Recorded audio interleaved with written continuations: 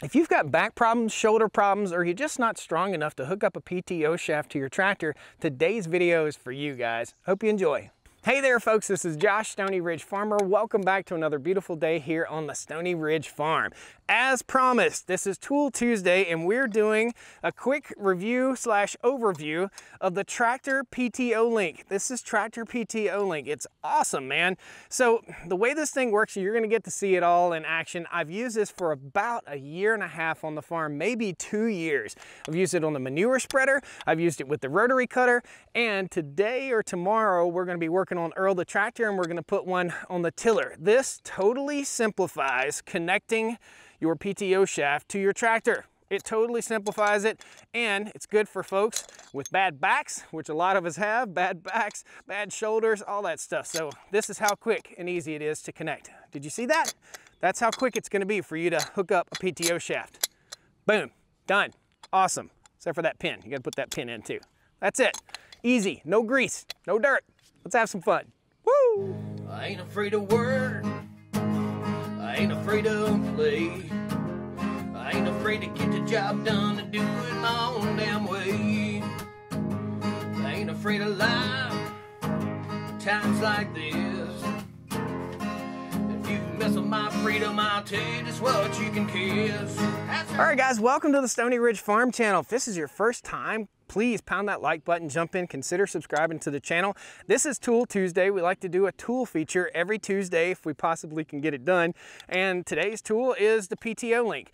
Tractor PTO link did send this out to me, okay? They sent me enough to go on all my tractors that fit the horsepower range and the size. There are certain tractors that this will not work on, so go on there. The smaller John Deere tractors with the shorter spline. So if your tractor has a shorter spline shaft coming out of the PTO on the rear of the tractor, this may or may not work. I'll post a link to the PTO Link website down there for you so you guys can figure it out.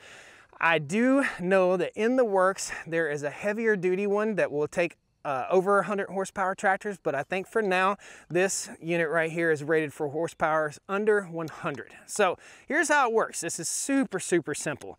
We're gonna show you both ends, and then we're gonna show you over here on the tractor, okay? So you have this end, this is the male end, and this goes into the shaft. So the shaft that comes off of the rotary cutter right here slips over this, okay? It's locked into place. It's permanently affixed to that unit, okay? This just sits there. It's always there, okay? Then the female end goes on the tractor. So this would butt up right to the rear of the tractor, snaps right into place. You pull this back, just snaps right in. You can see the little uh, keepers in there. See them down in there, little ball bearings? That's what holds it in place, locks it into place. So this is on your tractor, this is on your implement, and instead of having to slip back this collar all the time on an implement, all you have to do is simply put this together, twist it like that, it's locked into place right there. There it is, boom, locked into place, and you push this little pin through the back. So it's double locked. It's locked there and it's locked there, and that's it. So instead of wrestling with a collar and a greasy, greasy, nasty PTO shaft, all you have to do is lock it into place. I'll show you again and then we'll show you on the tractor. So we pull this pin out, it's a locking pin. We lift this, this is how easy it is to disconnect. Just like that, okay? So instead of pulling back collars and slipping and fighting and turn your PTO shaft, all you have to do is go in these little teardrop holes, lock it into place, just like so. Twist it, it's locked right there. And then we'll slide this pin in from the back side. Back side's this side, tractor side. Cool, let's go over to the tractor. So tractor PTO link is already in place on this tractor. What we're gonna do is we're gonna disassemble it. And this is a one-time assembly process that you'll have to go through when you buy one. Um, there's this little pin that I have to push down right here. It's tough to push that little pin down, okay? Tough on your thumbs, you got gloves on, you got grease all over this. This is almost a new implement, so it's not really too awful greasy, but there's a detent pin, and we'll pull that off. See that? What a pain in the butt, okay? Oh, jiggle, jiggle, jiggle, trying to get it off. Um, ugh, come on, dude. Okay, for real. this is a real life demonstration of what a pain in the butt it is sometimes to get your PTO shaft off. So I'm gonna take the PTO link off. See that? You'll never have to wrestle with that again. This is unplanned, totally unplanned. Everything should go smooth. so let's take the pin out. We'll remove the PTO link quick attach, just like so. There it is, boom. Quick attach. Here's our pin. We're gonna show you, man, that was a pain in the butt. That was unplanned, totally unplanned, unscripted, real life. We're gonna take the PTO link off the tractor. This is how simple it is. Boom, it's off the tractor. Now, let's wrestle this heavy PTO shaft and try and line up the splines and everything. Oh, this PTO shaft is giving me a hassle, a bit of a hassle here. Okay. Come on, there it is. Okay, so you gotta turn it and get it lined up just right, then mash that detent in. Hopefully this hadn't been sitting out in the weather or that detent is gonna be a pain in the butt. I don't know how many of you guys have ever hit one of these with a hammer, but I have for sure. Let's get a little close up, I'll show you. So this is the detent that I'm talking about. You gotta push this pin in to release. In other words, you have to lift the heavy PTO shaft. See how much of a pain in the butt that is? You have to lift the shaft, line up the splines correctly, just like so, then rotate, then mash that in again and wiggle it and jiggle it till it goes all the way up on there. Let's just do it. Uh, there we go. Okay, so that's got our PTO shaft locked on. Now, let's install PTO link. Here's how easy it is to install. Grab it, slide the collar back, boom, it's on, okay? Now, for our implement, we're just gonna drop in into our seven spline, and you won't have to do this but one time. I think it's a seven spline. Okay, mash the button, it locks into place. Line up your teardrop holes just like so. Hook it back up, line up your teardrop holes, give it a twist, it's locked into place and it's on there. You don't have to wrestle the long PTO shaft and you don't have to fight these splines. You don't have to get it all lined up so perfectly. It makes it easier on your back and your shoulders. So that's it. That's real world. That's what Tractor PTO Link is. That's it.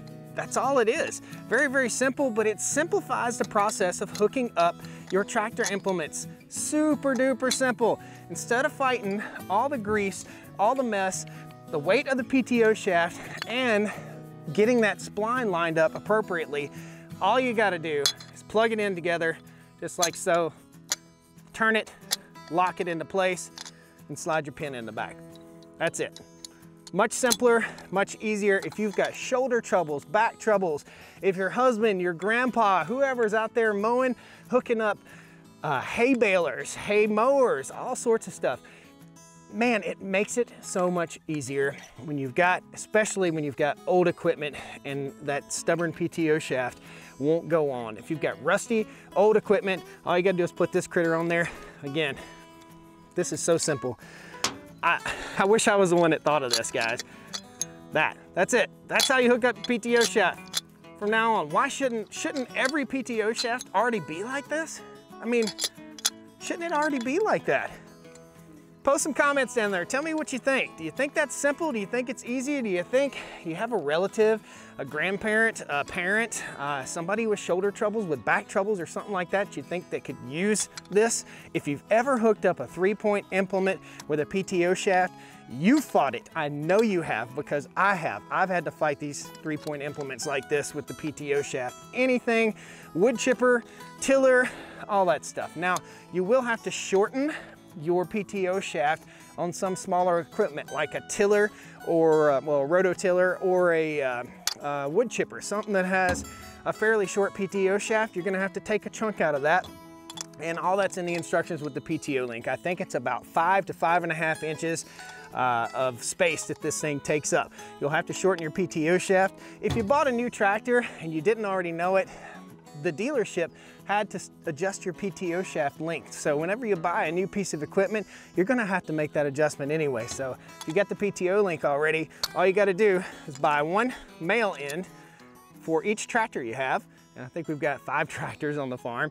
And then a female end for each implement. And that's it. Pretty cool. Guys, thanks a lot for joining me here on Tool Tuesday. I'm a fan. I think it's cool. I'll post a link down the video description.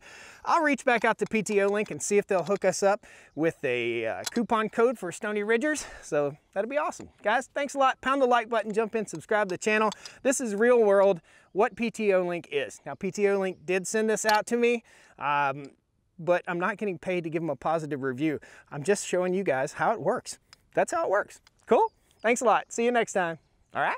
Woo! Come on down to the Stoney Ridge. Bring your wife and bring your kids. We're living life pure and sweet. That's the way it's supposed to be, Stoney Ridge.